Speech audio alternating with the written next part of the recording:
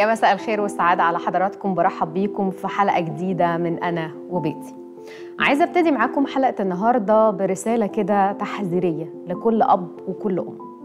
جات لي رسالة من بنوتة الحقيقة أنا عايزة أقراها لكم زي ما هي بعتتها لي لأنها رسالة توجع القلب. بتقول لي إيه؟ بتقول لي أنا تعبانة نفسيا جدا جدا وأنا صغيرة كنت دايما بتضرب من بابا وماما لدرجة إنهم عملوا لي حرق في رجلي. ودايما كانوا يدعوا عليا يقولوا لي كده روحي ما تشوفيش يوم فرح في حياتك ابدا. واللي بيحصل دلوقتي إن أنا اتجوزت وعندي 23 سنة بس اللي بيحصل معايا طول حياتي طلعني حد ملوش شخصية حد مش بيعرف ياخد حقه وبقيت بكرهني بطريقة غبية. أنا ساكنة في بيت عيلة وأخت جوزي ومامتها دايما بيعاملوني وحش ودايما يغلطوا فيا. وأنا من صغري اللي بيحصل معايا ده كله بقيت مش عارفة المفروض آخد حقي إزاي أو أعمل إيه. جوزي لما بتكلم معاه مش بيرد عليا بيسمع ويسكت ومفيش رد خالص. أنا حزينة على نفسي قوي وعاوزة أنهي حياتي عشان أنا تعبت. بس ما بعتتليش مثلا تقول لي إيه الحل طب أعمل إيه؟ لأ هي كانت محتاجة إن هي تقول الكلمتين دول. شوفوا خلينا نتفق انه جزء كبير من تربيتنا لاولادنا أو تكوين شخصيتهم بيعتمد على جودة التربية اللي إحنا بنقدمها لهم. يعني أربي شخص قادر على التحليل والاستنتاج والاختيار قادر على اتخاذ قرار. فلو ابنك أو بنتك مترددين متذبذبين ما عندهمش شخصية غير قادرين على اتخاذ قرار مش قادرين إن هم يتحملوا نتيجة أخطائهم فانتوا السبب. وهيفضلوا يعانوا بسببكم طول عمرهم لأنه ده خطأ في التربية. الأهل بيعملوا إيه؟ بيعملوا حاجة من الاثنين يا بيزرعوا الثقة في نفوس أولادهم وده بشوفه الحقيقة عند ناس كتير يا إما بيكسروهم ويحطموهم وينتقدوهم طول الوقت. فلو أنتوا من النوع التاني اللي هو بيشد على ولاده قوي بيستخدم العنف معاهم طول الوقت وفاكر إن هو ده الصح عشان يربيهم اللي بيحاول إنه يضغط عليهم علشان خاطر يحقق طموحاته هو الشخصية في ولاده اللي بياخد القرارات بدلهم اللي بيصلح غلطهم انت كده بتخلق شخصية عديمة المسؤولية عديمة الشخصية هو ده اللي بيكبر بعد كده يبقى زوج ملوش كلمة ملوش لازمة اللي حواليه هم اللي بياخدوا القرارات بدلا منه.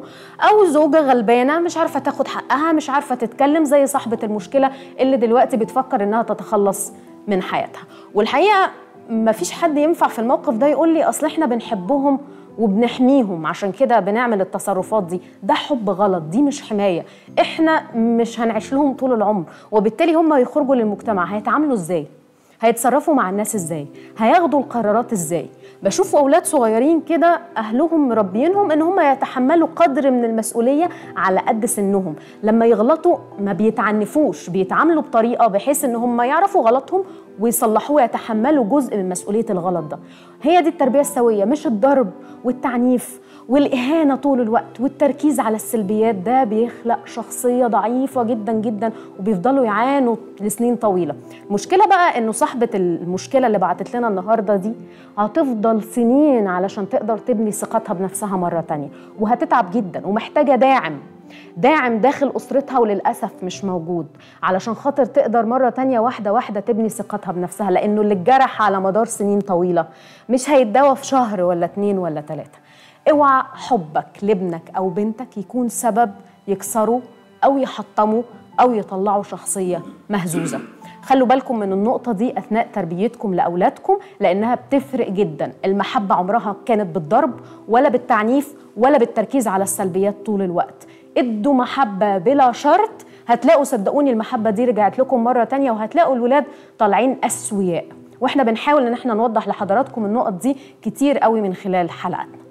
أما بالنسبة بقى لحلقة النهارده فإحنا مكملين مع حضراتكم قراءة بعض المشكلات وهناخد عدد كبير من التليفونات النهارده. والحقيقة إن إحنا يعني على مدار الحلقات اللي فاتت بنحاول على قد ما نقدر إننا نرد على أكبر قدر ممكن من رسائل حضراتكم لكن أنا بستأذنكم في طلب بسيط جدا.